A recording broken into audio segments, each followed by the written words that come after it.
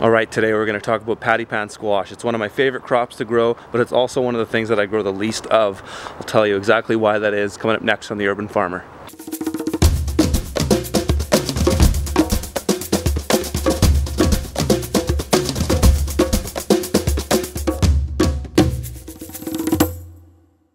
When I say patty pan squash, what I'm really referring to is summer squash. So zucchinis, yellow and green zucchinis, and these little guys.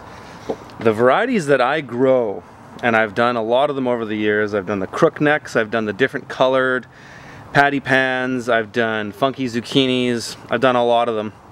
And I've boiled down to three, which are the ones that are my favorite, and it's these guys here. So the, it's a yellow zucchini, this is a sunburst, that's the name of the variety, and this zucchini is called Raven. And I'm sure everybody's got what works best for them, but that's what I grow, and this is the ones that I like the most. Um, basically, as far as the patty pans go, the sunbursts, the reason I like them above a lot of the other types of patty pans, so the the courgette or the, the, the baby summer squash. The reason I like that one the best is the plant is small, it stays static, it occupies very little space, and um, it's the most productive. There's many different types out there. Like there's some, I had I've done so many of them, but there was one I did last year, which was supposed to be a variation on a variety called um, what was it called? Uh, Peter Pan. And the Peter Pan was a similar to the sunburst, like this plant here, but it it's a it uh, it grows like a winter squash so the plant keeps getting bigger and bigger and I hate that because for myself as an urban farmer I have a limited amount of space. And so there was one called Benning's Green Tint that was a, a variation on the Peter Pan which was no long wasn't available last year. And the fruit looked exactly the same. It was like a sunburst like this one. But it's a light green which is which is attractive. It's nice. It tastes great but the plant is huge and it wasn't worth wasn't worth it for me in that regard. So, anyways, I've boiled it down to these th three varieties. These are my favorite. Interested to know what you guys grow. Uh, put those in the comments below. But uh, so patty pans are a crop that I grow less and less of each year, and the reason is is simply for the obvious reason that you can see here is they occupy a lot of space, and they are what I call a birotation crop or a steady crop they go in birotation areas. The only reason they're in this area, this plot is what I consider high rotation. Each of these beds be rotated multiple times a season. But the reason I've got them on this plot is because this year the landowner said, you know what, let's don't even, they wanted to have a lawn here. She said, let's not even bother. So I put patty pans here, knowing that they might want to get that lawn area back ready in the fall. So normally I'd, I might have these somewhere else. But generally, I like to have these types of crops close to where I am because they require so much consistent picking. And since I'm focusing on a, a baby type crop, which I can sell at a higher price per pound, anywhere between four and five dollars a pound. I have to pick them every single day, especially from now. So we are about mid-June right now. We are exactly mid-June right now. From now until September, I'll be picking these every single day. I'll just come out here, scan around, pick the ones that are ready, come back the next day and do the same thing. Most of them will get sold at the end of the week, but we got to pick them consistently to get them at that right size. And um, so I grow less and less of these each year because of the, the, the, land real estate. And I'm basically at a point where these, with these, where I only want to, I want to have enough that I always sell them. In the past, I always have too much in the summer. Like they're, they're scarce around now, at it, like late spring, early summer and then they become way too abundant in the summer that every other farmer has them and you can't move them and you're picking for nothing.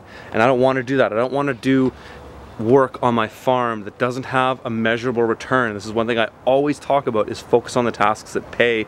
Focus on the things that have a measurable return. And if you're going out and picking summer squash and you got 50 pounds that you can't sell, you just did an hour or two of work that is unpaid. So that's a cost. And so I always I, I keep reducing the amount for this reason. I want to sell them so that they're always sold. I want to grow them so they're always sold.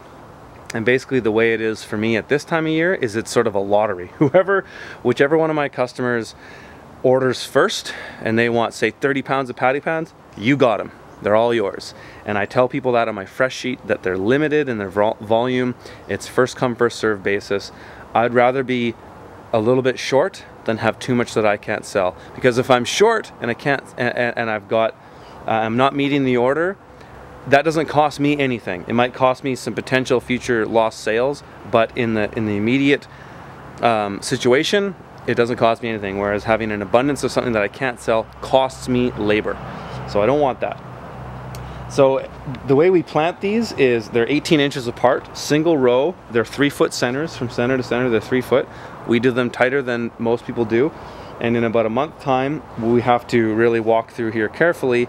We wear pants and long sleeves and we have to just kind of man like you know push our way through a jungle. But that's the way I like to do them. It gives them enough space to grow um, but it makes them you know a little bit more difficult to pick later in the season. But that's okay by me. I'm willing to sacrifice that so that I can concentrate this into an area um, a smaller area. And so my strategy with patty pans is I put them in areas where I wouldn't normally have beds. I put them between my greenhouses like you saw with the zucchinis and um, you know they're they're a low maintenance crop once they're set up. I landscape fabric everything and we have holes in the fabrics. We use the same fabrics each year. These are all three foot wide fabrics and they they overlap with each other in the walkways. And then we have holes every 18 inches with drip irrigation underneath. So it's really low maintenance. All we have to do is harvest them. There's no other maintenance that needs to be done besides things like picking off the uh, the bad ones here and there but that's basically patty pans. So the key to growing them profitably is growing a smaller variety and picking them often opposed to the big ones. But you know, there's gonna be times where they, they slip, you know, right here I can go and look. Here's one. That's like the biggest I want. That's, that's almost too big. And if I find too many of these, uh, for a picking, I'll charge a different price point. I'll sell them for cheaper than the smaller ones. But I'm looking for the tiny, the tiny ones. I want a zucchini this is an optimal size zucchini. It's about four and a half, five inches. And what restaurants will often do is they'll slice that into maybe half inch slices and it pairs well with a patty pan squash like this size. Whereas they might serve that thing whole or sliced in half. Um, paired up with zucchinis like this, it makes a nice vegetable medley. Just picking my zucchinis and um, when I'm picking them I clip them off just so I don't break them at the stem because I am picking a smaller zucchini. I just wanted to show you guys something that I always do when I'm picking zucchinis. It's just sort of a management thing. Is you see these kind of things? These kind of miscolored or misshapen crappy looking zucchinis or patty pans on a plant. Remove those right away because they're I know there's a reason why they're like that. I don't know what that reason is. But if you leave that on, the plant is going to put energy into growing a, a piece of fruit that you're never going to use. So I always take them off and uh, get them to focus their energy on the ones that I want to grow. So I, I've always found over the years, and I'm no plant expert, I'm no botanist, just a farmer, but I've always found that with zucchinis, the first few fruits are always kind of misshapen and miscolored like that. I don't know why it is. I'm sure some online expert out there knows. But um, I always pick them off because then, you know, the, the ones that come after always seem to be better. So that's just my kind of basic strategy for it. So that's Patty Pans, guys. If you have questions or comments, please leave them below. If you want to see more stuff like this, please hit the subscribe button right now.